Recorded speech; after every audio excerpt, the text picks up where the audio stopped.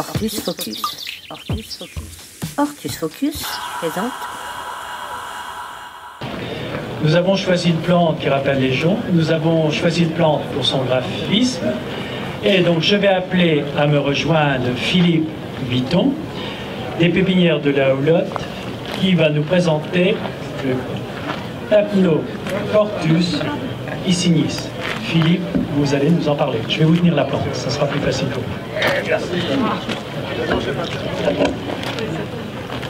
Bonjour.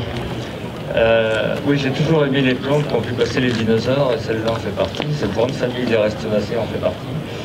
Et euh, il y avait quand même vraiment un intérêt dans ces plantes-là qui ressemblent à des prêles, qui ne sont pas des prêles. Peut vraiment se, trouver dans tous nos jardins, euh, soit en pot, dans les climats très froids, c'est-à-dire quand ça dépasse moins 15. Sinon, bah, en Bretagne, ça pousse très très bien, même quand on a mis moins 10.